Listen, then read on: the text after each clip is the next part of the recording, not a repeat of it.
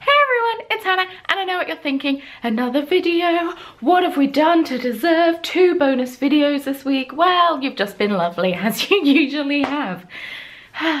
so it is resolution season. I mean, most of you have probably already made your resolutions and I hope that you haven't given up on them even if you've already broken them because I figure resolutions are more goals as opposed to things well, resolutions. So I personally, by the end of the year, want to have achieved X, Y, and Z, and I'll talk about that next week.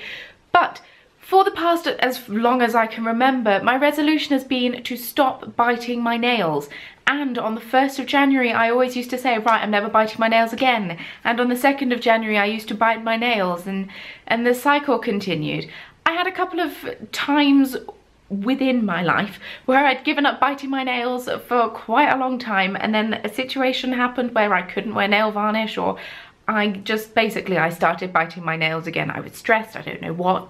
Anyway, I managed to stop biting my nails in my final year of uni, then started again. If you've been watching my videos since the beginning, and I know some of you have, then you will have noticed how much my nails have changed.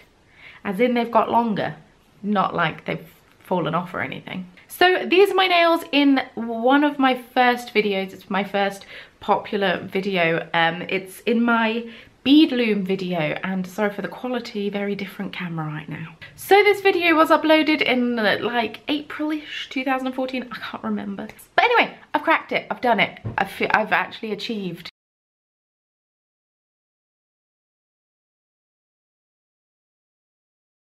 So as you have seen, my nails are much longer now and kind of colour coordinated with my hair in the blue and the, the pink sparkles. And I'm testing a peel off base coat for the first time and I've already chipped one of my nails and I only painted them yesterday. So that is a little stressful. Anyway, so how I stopped biting my nails. I first of all addressed when I would bite my nails and it was usually when I was bored and, you know, sat watching Netflix and the like. But basically, all I did is I painted my nails. I just painted them. If my nails now don't have nail varnish on, I think, I don't know for certain, but I'm 99% sure I will probably go back to biting them. So I just have to keep them covered because when your nails look nice, you don't want to bite them because that chips the nail varnish and then you've got to repaint them because I hate having chipped nail varnish even though this one is chipped, but you know, whatever. But that is basically my secret to how I stopped biting my nails. I carry a nail file with me everywhere now so that's weird. But yeah, it's no great secret. Just keep your nails painted. So yeah, that is my quick tip for the day. If your resolution is to stop biting your nails, keep them painted if you can. If you work in the food industry, just try to get away with a clear, clear nail varnish. Just try to. Because I found even clear nail varnish works. Because you feel like you've got something on your nails and plus it strengthens them slightly. Don't get nail strengthener. Don't do that to yourself. But yeah, just paint your nails and then you can build up a nail varnish collection which is currently set in this white box here. And I never have enough nail varnish even if my boyfriend disagrees. Thanks, Mario that's my quick tip for the day. I hope that you liked it and that you liked this fact that I you got two bonus videos this week instead of one.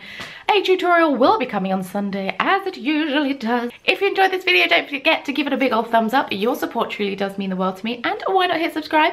I post new video here in the Corner of Craft every Sunday and very often bonus videos in the week as well. I'm trying to get at least one bonus video up per week, if not two, depending on how creative I'm feeling. What are some of your New Year's resolutions? I would love to find out. I'm talking to you about mine next week. So stay tuned for that.